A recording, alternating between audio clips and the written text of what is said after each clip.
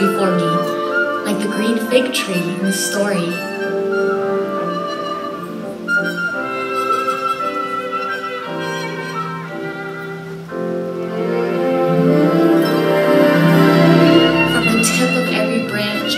A fat purple fig, a wonderful future beckons and winked.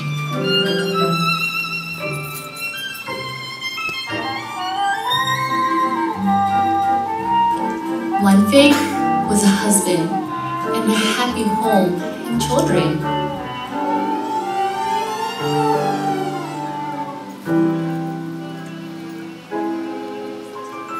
And another thing was a famous poet.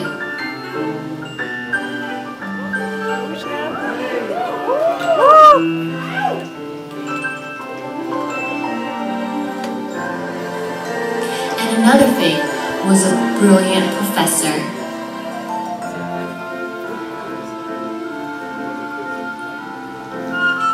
And yet another fig was me, Loan, the amazing fashion editor.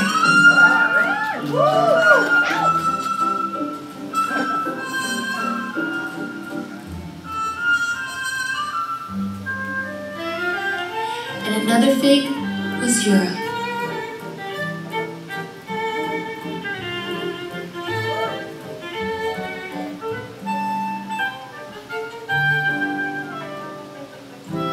And Africa.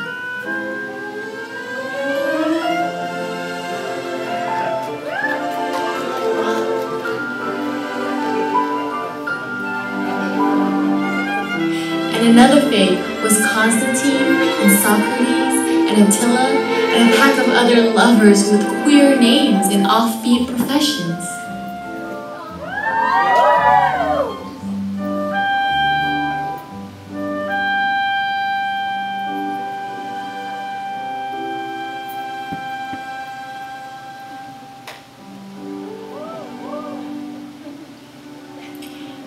And beyond these figs, and above them, were many more figs I couldn't quite make out.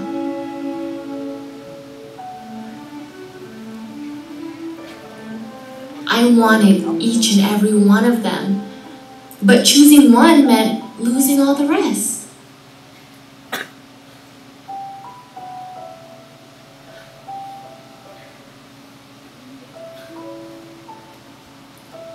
And as I sat there, unable to decide, the figs,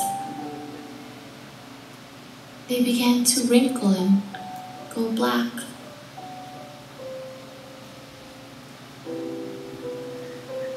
And one by one, they plopped to the ground at my feet.